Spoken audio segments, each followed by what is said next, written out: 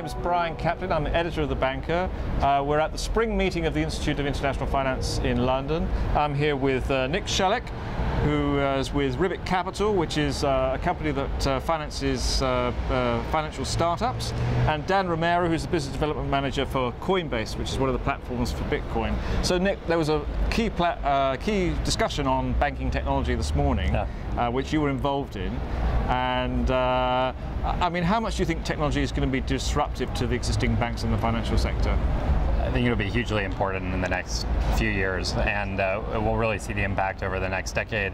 Uh, what we see right now is a, a, large disparity between what consumers are used to getting in terms of technology from the Facebooks and Googles and LinkedIn's of the world, what they experience in their media consumption or, or other parts of their, uh, their, their technical life, and what they get from the, the traditional financial institutions. So banks should be, uh, should be very focused on this on, and, and, on notice. Okay, uh, but I mean, when you, ask the banks, like we did this morning, you know, I mean, they say, well, we still have to keep our branch network going, we still got to keep our old customers satisfied. Uh, I mean, what do you think of that argument? Um, I, think it's true they have an existing customer base they should serve, but they shouldn't miss how that customer base is changing and also the customer base that is coming up and is being served by other types of companies who are paying attention to what the customer actually wants to do on the web, on the mobile.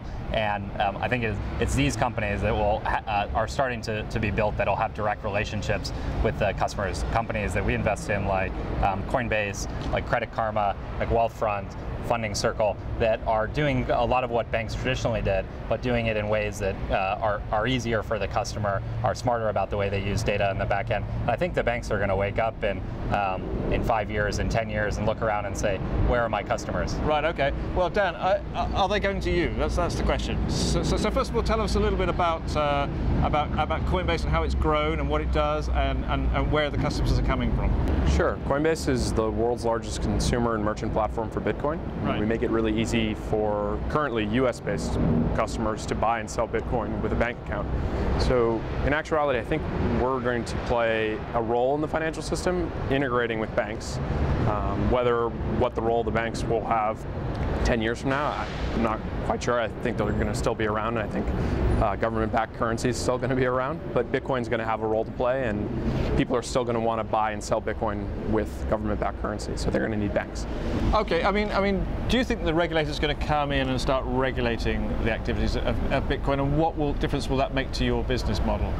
Well, I think they already started to in the U.S. and each European country has seemed to give different amount of guidance. Uh, the UK has been um, pretty optimistic and open about it, and I think that's still developing here. But uh, I, I, think we're trying to work closely with regulators as well as the existing financial system around know your customer, anti-money laundering compliance.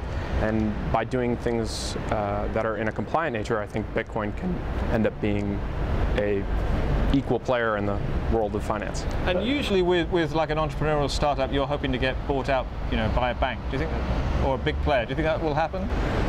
I think, I think our goal is to make Bitcoin easy to accept and as long as we keep doing that, I think that's what we're going to be focused on. Nick, you're hoping it'll get, you're the investor, so you're hoping it'll get bought out by I a think, bank. I think Coinbase can be a very big independent company. Like I said, I do think that some of the large banking and financial institutions will, uh, will wake up in a number of years and say, oh wow, look at what's been built over here. These are things that we want to own because these are important to our customers. That's really, you know, the, the Coinbase team is, um, is building, along with their banking partners, but independently, a, a, a great compliance and regulatory effort. And I think we're going to see this more entrepreneurs who are serious not just about technology, but about many of the things that banks have traditionally uh, have done well. And you, you know, you ask, um, is Coinbase an example of a company that's going to serve some of the customers who previously were served by banks?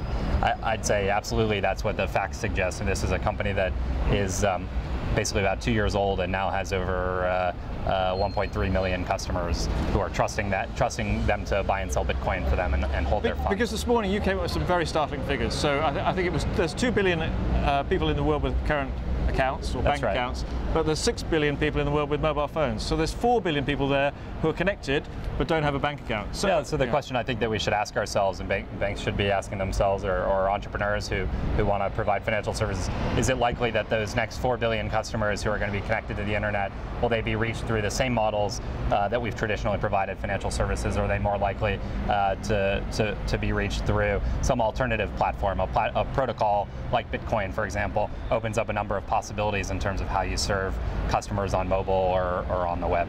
Okay, Nick and Dan, thanks for your ideas. We'll let our banker readers decide on how they're going to get those 4 billion customers. Thank you very much.